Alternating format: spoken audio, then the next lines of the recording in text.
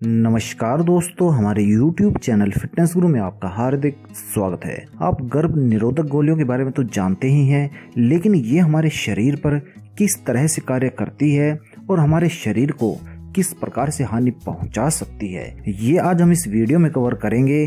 अनचाही pregnancy को रोकने के लिए कंडोम के बाद मुँह से खाए जाने वाली गर्भ निरोधक गोलियाँ यानी कि ओरल कंट्रासेप्टिव पिल्स जिसे कि हम ओसीपी कहते हैं, यह सबसे दूसरा पसंदीदा तरीका होता है। अधिकतर महिलाओं का यह सवाल होता है कि यह गोलियाँ काम कैसे करती हैं? गोलियाँ खाने से शरीर में क्या बदलाव होते हैं, जिससे कि प्रेगनेंसी रुक जाती है? वैसे तो कई बार महिलाएँ गर्भ निरोधक गोलियाँ लेने से पहले डॉक्टर से सलाह अवश्य ही लेती हैं, उसके बाद ही इन दवाइयों का सेवन करती है। तो आज हम इस वीडियो के ज़रिए आपको बताएँगे कि आखिर ये गर्भ निरोधक दवाइयाँ काम कैसे करती है और ये कैसे अनचाही प्रेगनेंसी को रोक देती है।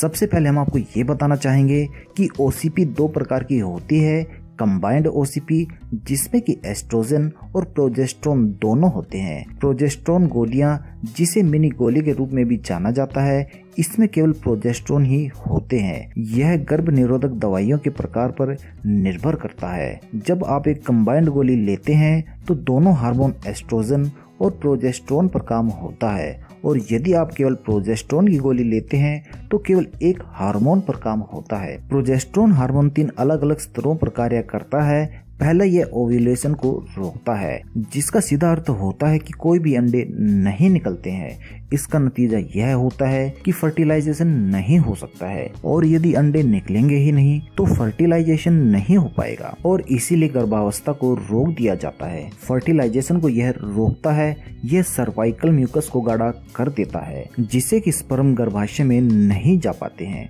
ज़ाहिर सी बात है, मोटा होने पर स्पर्म अंडे के लिए अपना रास्ता नहीं ले पाते हैं। क्योंकि यह अंडे तक पहुँचने में विफल हो जाते हैं, जिससे कि फर्टिलाइजेशन की संभावनाएँ प्रभावित होती है, जो कि गर्भावस्था को रोक देती है। तीसरा ये एंडोमेट्रियम के स्तर पर कार्य करता है। जैसे कि एंडोमेट्रियम की परत पतली होती है, यह आरोपण के लिए मुश्किल बना देता है। इसीलिए यदि भले ही अंडे फर्टिलाइज हो जाए, भ्रूण एंडोमेट्रियम से चिपकने में विफल रहता है, जिससे गर्भावस्था की संभावनाओं में बाधा उत्पन्न हो जाती है। एस्ट्रोजन हार्मोन कंबाइंड पिल्स में एस्ट्रोजन हार्मोन की उच्च मात्रा होती है।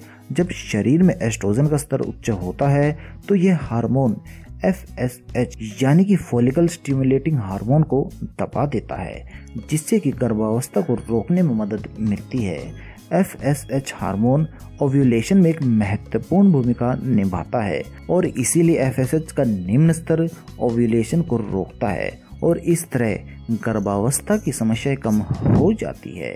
तो इस प्रकार से ये पिल्स आपके गर्भावस्था को रोकने में मदद करती है। तो यदि आपको हमारी ये जानकारी पसंद आई हो तो कृपया इसे लाइक अवश्य करें और इस जानकारी को अपने मित्रों और सगे संबंधियों तक पहुँचाने के लिए कृपया इसे शेयर करना बिल्कुल भी ना भूलें। धन्यवाद दोस्तों।